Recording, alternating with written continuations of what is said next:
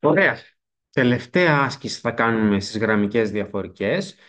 Θα ξανασυναντήσουμε τις γραμμικές. Ε, απλά τώρα θα κάνουμε τελευταία άσκηση σε αυτή την ενότητα και μετά θα πάμε παρακάτω.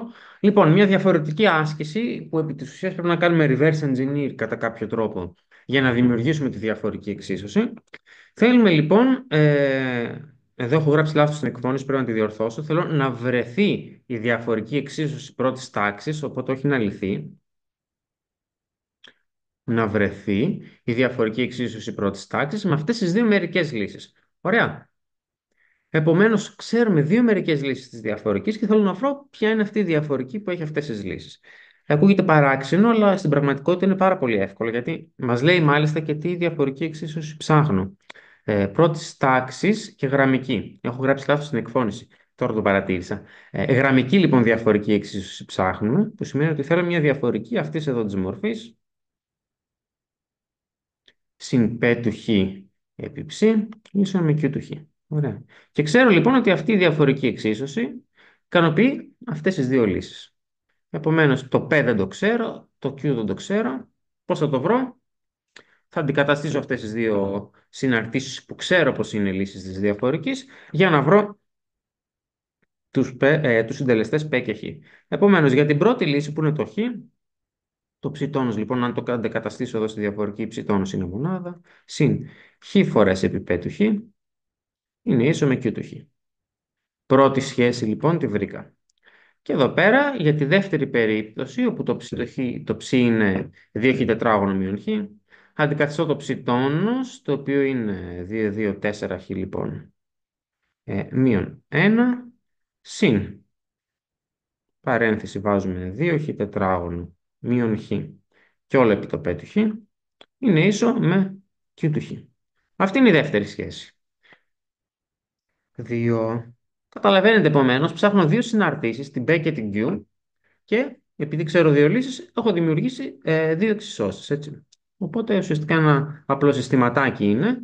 Θα έρθουμε για να θα το λύσουμε πάρα πολύ εύκολα.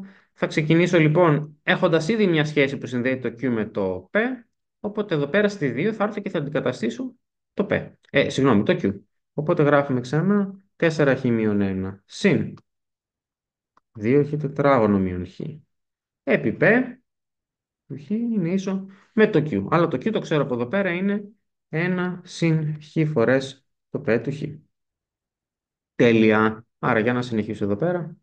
Ε, να τα χωρίσω λίγο μεταξύ τους το χ επί π του χ θα το πάω από τα αριστερά και θα το βγάλω εδώ πέρα κοινό παράγοντα, οπότε θα γίνει μείον χ ο συντελεστής. Επομένως εδώ θα έχω 2χ τετράγωνο, μείον χ, μείον χ, μείον 2χ. Πολύ ωραία. Και όλο επί π του χ είναι ίσο με, να τα πάω αυτά από την άλλη, θα γίνει 1 και 1 θα γίνει 2, έτσι. Δηλαδή το πλήν 1 θα πάει από την άλλη και θα γίνει συν 1. Οπότε έχουμε 1 και 1, 2. Το 4χ θα πάει από την άλλη, θα γίνει μείον 4χ. Ωραία. Αυτό λοιπόν μας λέει ότι το π του χ είναι ίσο με πόσο, για να δούμε. Ο αριθμητής θα είναι 2 φορές το 1 μείον 2χ και ο παρονομαστής, τα στράβωσα λίγο, δεν πειράζει, θα γίνει εδώ να βγάλω κοινό παράγοντα το 2 επί το χ επί το χ μείον 1. Φεύγει και φεύγει. Okay, για να δεν έκανε κανένα λάθος στα νούμερα μείον 1 θα γίνει εδώ, χ εδώ πέρα, 2 επί 1 μείον 2χ. Πάρα πάρα πολύ ωραία. Το π του το βρήκαμε επομένως. Εδώ πέρα δεν μένει παρά να αντικαταστήσω την τιμή του και στην πρώτη σχέση που μου λέει ότι το q του χ είναι ίσο με 1 και χ φορές επί το π. Λοιπόν, θα γίνει 1 συν, εδώ έχω χ, εδώ έχω χ, οπότε θα μείνει σκέτο ο αριθμητής 1 μείον 2χ προς χ πλην 1 που είναι ο παρονομαστής. Και εδώ να κάνω τα κλάσματα ομόνιμα θα γίνει χ μείον 1 συν 1 μείον 2χ προς χ πλην 1 θα μου δώσει φεύγει και φεύγει συν χ μείον 2χ μείον χ προς ε, χ πλην 1. Να το διορθώσω λίγο. Χ λοιπόν μείον 1.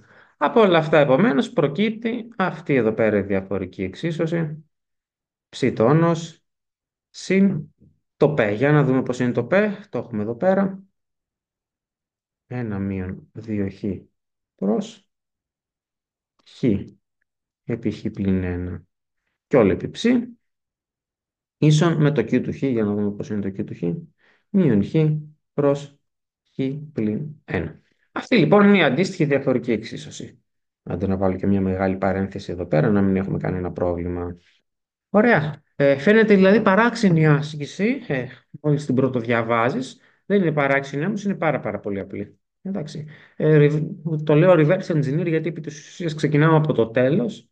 Έτσι. Ε, παίρνουμε δηλαδή έτοιμες τις λύσεις της διαφορικής, αλλά δεν γνωρίζουμε τη διαφορική. Επομένως, πρέπει να την κατασκευάσουμε. Πάρα πολύ στάνταρ πρόβλημα παρεμπιπτόντως στην αναγνώριση συστημάτων ε, συμβαίνει βέβαια με πραγματικά δεδομένα συνήθως με χρονοσύρε, που μπορούμε να έχουμε μια προσωμείωση, έχουμε τα αποτελέσματά της, δεν ξέρουμε από ποιο σύστημα προήλθαν και θέλουμε να κατασκευάσουμε το σύστημα που μας δίνει αυτή τη λύση. Έτσι, αυτό είναι πιο, θεωρητικό, πιο θεωρητική άσκηση. Στην πράξη μπορεί να είναι λίγο πιο ε, πρακτικό το πρόβλημα, δηλαδή να μην έχουμε συναρτήσεις, να έχουμε χρονοσύρε, ε, αλλά καταλαβαίνετε την ιδέα. Αυτά επομένως και μετά θα μπούμε σε μια νέα ενότητα με αρκετά διαφορετικές ασκήσεις. Θα δούμε όλα με τη σειρά.